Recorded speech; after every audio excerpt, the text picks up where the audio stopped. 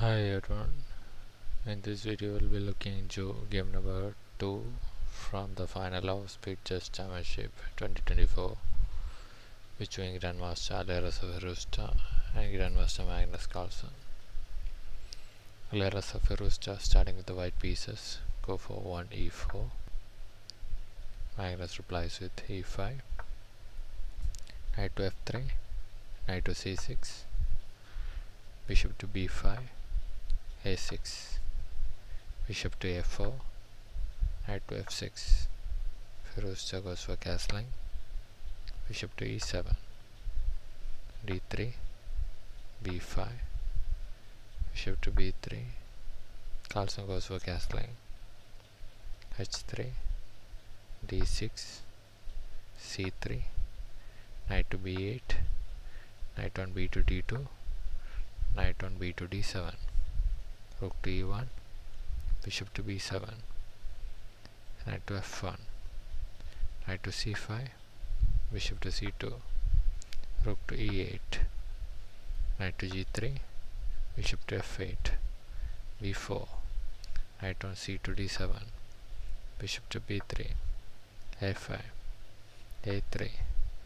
d5 bishop to d2 c5 e takes on d5 a takes on b4 a takes on b4 rook takes on a1 queen takes on a1 c takes on b4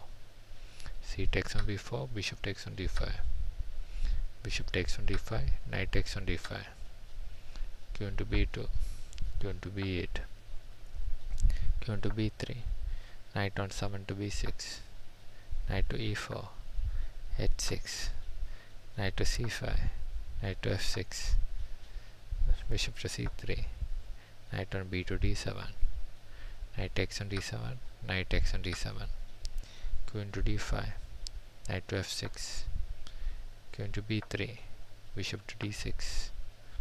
knight to d2 queen to c7 knight to e4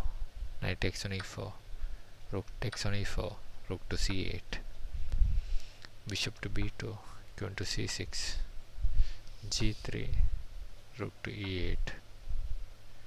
rook to e1 king to f8